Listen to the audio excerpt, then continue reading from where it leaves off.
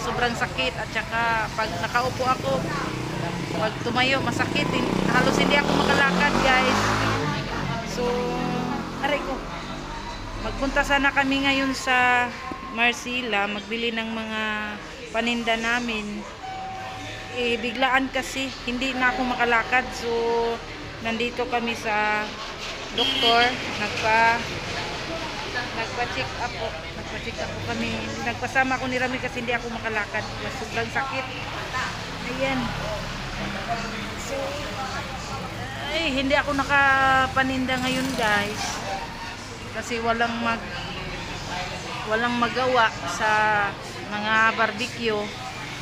So, i-pray nyo po ako na sana maging okay na po para makabalik ako tinda sa aming barbecue po. So, nandito po kami ngayon sa clinic po ni ano ng doktor po dito, private ah, doctor.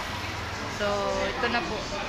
Hindi na naman na hindi na muna pina pasada ko si Ramil kasi hindi talaga ako makatayo sa sobrang sakit ko guys kahit magpunta ako sa CR hindi hindi ako makalakad sa sobrang sakit ang sakit talaga nako po pray nyo po i-pray nyo po ako na sana maging okay na po ako para makabalik po ako sa aking pagtitinda paano na yung mga bayaran po namin guys pag hindi ako makapa makabalik sa pagtitinda ng barbecue. So, please po, pray nyo po ako na sana maging okay lang po ito.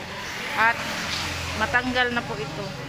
So, nagdala rin po ako ng white flower po guys kasi pag may mararamdaman talaga ako, ano, pumasok na naman yung nervous ko. Parang matakot, hindi ako makahinga.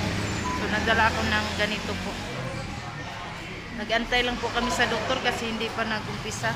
Naka lista na po kami. Ika number 9 kumit. Number, eh, ika number 9 pa po ako.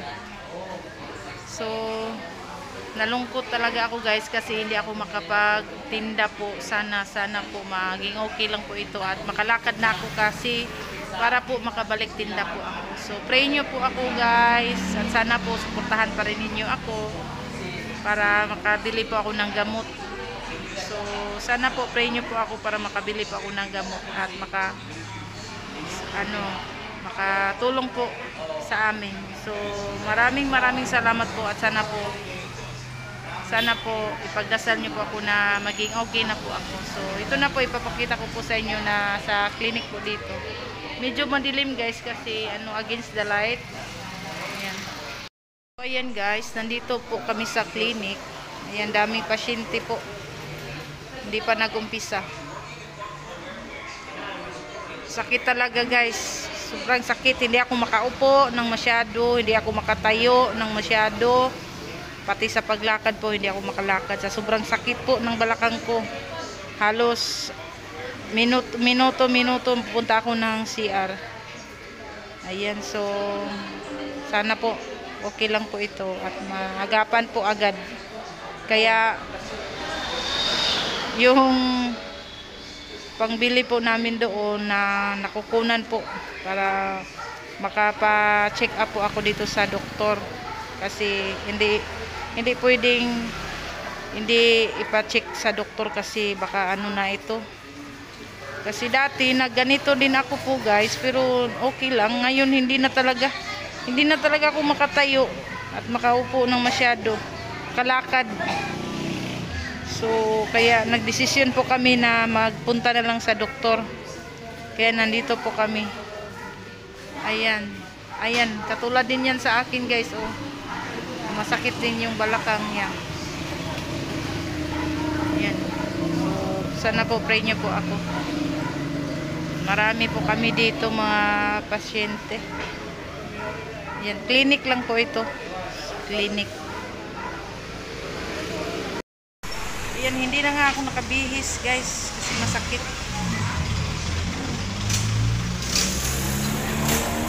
Hindi ko talaga ay nakala po na ganito mangyayari sa akin.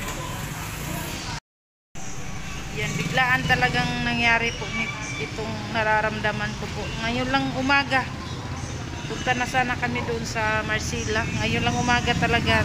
Ano, biglaan talagang sumakit yung balakang ko at hindi ako makalakad sa sobrang sakit. So, pati si Ramil guys, hindi na nakapamasada. Nako. Aray. Ah. Pag nakaupo-upo lang talaga, pag tumayo-tayo, hindi hindi na ako makalakad guys sa sobrang sakit. Aray. Ay, Diyos ko. Sakita jud guys, sakit kayo jud. A few moments later.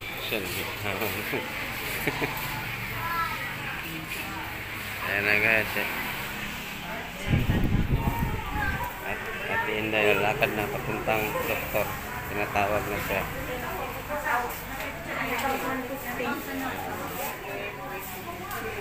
Puro.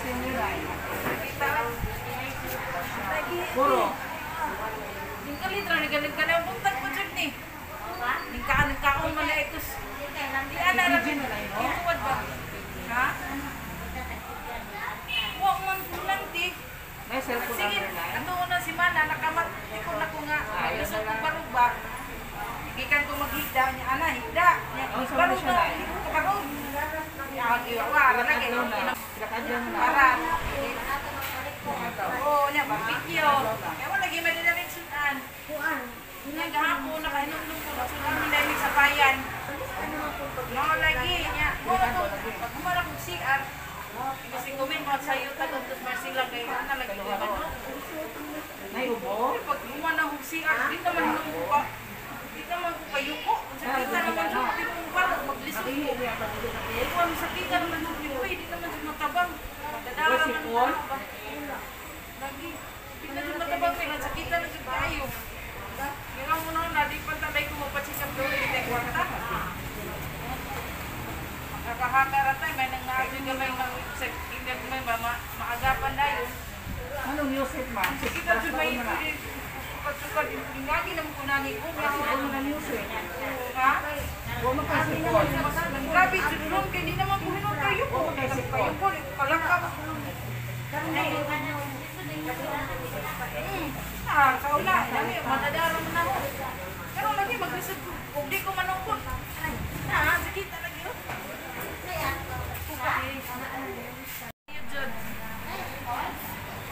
Si Ramil yung nag-video sa akin guys.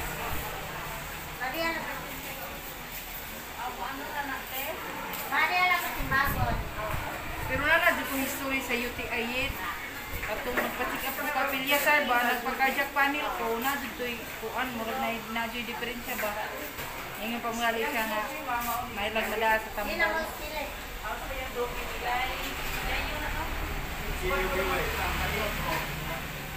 Yan, Kaliwat. Hindi lagi, madadali na to, buwad. Paita lagi.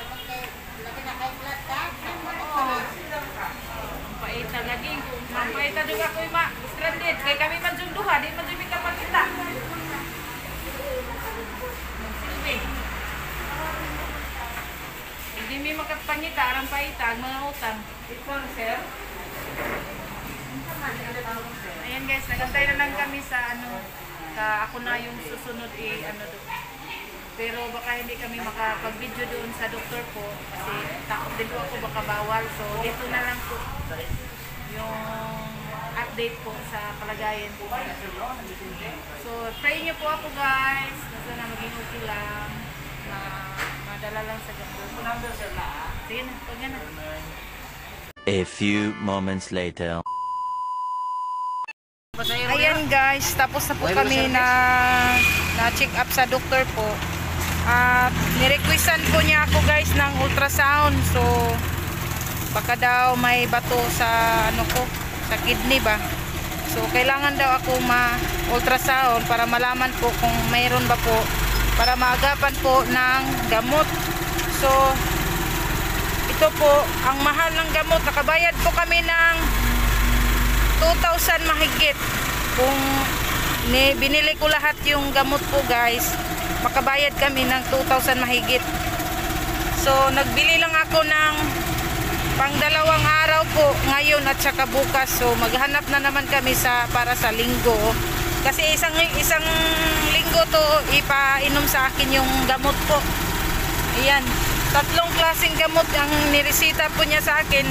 At ano po guys, may request. Ito po yung request niya sa akin guys. Yung, Diretso tagbay? oh, ito po yung resita niya. Ah, request po niya sa akin na kailangan daw akong ma ultrasound para daw malaman ka kaagad at maagapan yung sakit na kasi sabi niya pag hindi daw ako makapag-ultrasound mahirapan daw talaga ako kailangan daw makita agad para ma maagapan ng gamot so sana po i-pray niyo po ako na sana maging okay po kasi hindi ako makapagtinda po kung ganito ang kalagayan ko. Hindi ako makapag eh, makapag-focus hindi po ako makapag-focus sa pagtitinda kasi hindi ako makalakad at hindi ako makatayo. So sana po sana sana po ma ma ma-ultrasound po ako kaagad para malaman po. Kasi sabi ng doktor balik daw po ako doon kung may result na po sa ultrasound. So saan naku po Ayan, yung hiling ko lang po sa inyo na sana po manood kayo at mag-subscribe. Talaga inaasahan po guys na ma-doktor po ako ngayong araw po kasi maaga talaga kaming nag-decide ni Ramil na magpunta ng Marcila para magbili ng mga paninda namin. So, yung pang ipangbili ng paninda namin na napunta sa doktor po. So, sana po, sana, sana. Ayan, ang dami ko pong resita na bigay sa doktor at yun ang sabi ng doktor na sana ma-ultrasound po ako kaagad baka daw naba, may nakabara na bato. So uy naku po pray nyo po na sana wag naman wag naman po at ma, madala lang po to ito sa gamot. So ayan. Hindi pa si Ramil nakapamasada guys kasi hindi ako magpaiwan hindi hindi talaga ako makaano pag makaihi po hindi ako makatayo. So ang hirap talaga po sa nangyari po sa akin ngayon. Doon na lang po sa bahay yo ipapakita ko yung gamot guys. Ayan ipapakita ko po sa inyo yung gamot. Doon na lang po sa bahay malapit na naman kaming aray aray. Ah hinaya yung taon ikaayo jud malapit na po kami sa bahay. Kung hindi ako maka makatinda saan po ako mag, maghahanap ng pangbayad ng pangbayad sa rep at sa iba pa pong mga bayaran po sa amin. Kung hindi ako maka, makatinda na ano na nga ako nalungkot na ako ngayong araw po hindi ako makatinda. Kasi naubos yung mga manok ko po. Yun talaga ang plano namin na magpunta sa Marcela eh nauwi sa hindi inaasahan na madoktor po ako ngayon. So ang hirap talaga pag ang katawan mo na ay bumigay. So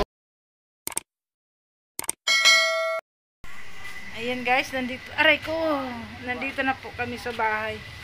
Ya, resita tagog sinta kapig tambal. ah. Yan naglaba pala si mama. Nagsuga nagsuga ta ka ma Nariyo nang suga basto nga, nasto nga oo. Ipa ultrasound lagi daw ko kay basis munog na ako ibato ba sa kidney. May kuno nang makita para kuno ma, ma maagapan dayon og tambal. Kay taon-taon na ba po ni akong gibati, mga edad pa ko mga 30 kapin. Hmm. Bud nakabayad nung kog og palito na ko tanan ang tambal bayad kog 2,000 kapin nya ako ra man gi duha ka adlaw na akong gipapal gi kuan ba kay ang mahala lagi sa mga tambal. Na magpapalit pa gani ko aning buskupan plus. 450 check up. Buskupan plus lagi mag pa, magpa papalit pa ko anis das gawas kay wa ko no sila buskupan plus sakita lagi uy sus Ginoo ko Ito hindi palit eh. Anong mabayusin nga bukukan sa parang puna sa ihi. Buskupan plus lagi iyang giresita. Murag na amas kuan. Na Murag na magali siguro pug kuan ni, ha? Mao lagi murag na magali siguro pug kuan. Nagbat ka? Oh, unsa man? Na na na bik na kuanan ko eh, nagpa-check up ko ka intiro. Niya na ang ang Di ko ka di ko ka barog. Maglisod ko barog ang sakita. Ah, ikaw mga ikaw wala ka rin ang kita kay tao no. Sige inom sobra unay man kag soft drink. warang kaon di dug, dugay ra ni na kong gi Di man ni singko pa man singko. Dugay ra ni na kong gibati go daw rang gidadaba. Nya sige gyapog kuan. Di lagi ko kalingkod nya siya. Kasi kayo. Oo, nya siya unsa man kanang nay sagol puwa. Kunay panahon do ka murag mupuwa gahong ihi. Ay. Oo, ipa-ultrasound lagi ko niya kay basin kunog na ko'y bato sa kidney ba. Mm, may kuno nang ma- makita, maagapan kuno dayon. Hmm. Mao lagi nang asa na putaan ni kwarta. Manabilis man karon. Ag agaw lagi ikong prahig manok dito sa doktor na da. Ay, lagi ang sakita naman jud dinglikramo naman jud kung kurumin di na jud matabang di naman ko kalihok. Ning kalitra man ni pag human ako CR. Pagka ninyo. pagkataod-taod di naman. Ito po, ipapakita ko po sa inyo yung gamot na binigay po sa akin. So, may isang gamot po na hindi wala. So, doon lang daw ibili sa labas. Ayan guys. Ito yung gamot na Ayan. Ayan. Ito po yung gamot na binigay po sa akin, ciprofloxacin. 5 Mm. Ayan. Tag ano to? 80 mahigit, 80 plus ang isa. At saka to may isa pa. Iwan ko kung para saan to guys. Tatlong araw lang to. Ayan, ito. Tatlong araw lang to ipa inom sa akin yun, ito. Tapos sabi niya, kailangan talaga daw ma, ma-ultrasound ako kaagad para makita daw kung anong resulta.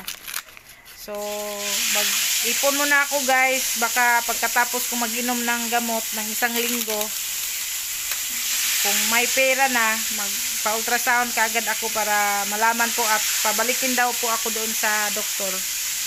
So, hanggang dito lang po muna. At sana po, manood pa rin kayo at magsuporta pa rin kayo sa akin at sa, lalo sa aking pong channel. Maraming maraming salamat po at pasensya na po, hindi ako makatinda ngayon. Sana baka bukas kung medyo okay-okay na po ako o sa Monday, magbalik talaga ako sa pagtinda guys kasi hindi pwedeng hindi ako makatinda kasi may may may babayaran po talaga ako alam nyo naman po yung ibig ko pong sabihin. So hindi talaga pwedeng ma-stop. Kaya pray nyo po ako guys na sana maging okay na po yung kalagayan ko ngayon para makabalik na po at makahanap na po ng dagdag sa gamot pangbiling gamot. So please po don't forget to subscribe at maraming maraming salamat po sa inyo. Ayan. Yun lang po ang hiling ko po sa inyo na sana maging okay na po ako at i-pray nyo po ako na maging okay po at makapa-ultrasound po ako agad. Ayan, so thank you so much po. Bye-bye.